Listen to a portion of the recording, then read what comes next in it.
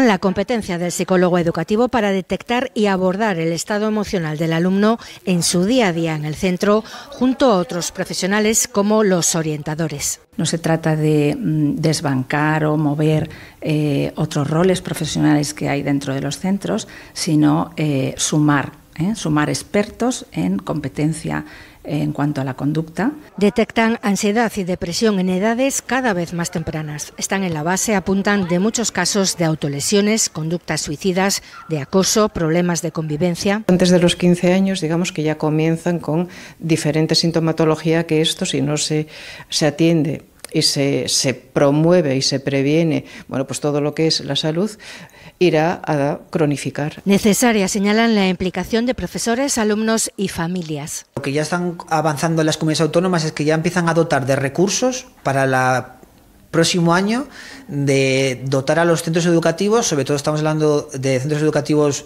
hasta yo mi conocimiento eh, públicos, eh, de profesionales de la psicología, tanto a nivel, si quieres, de, de colegio como de instituto. Algo que también señalan ven muy factible en Asturias.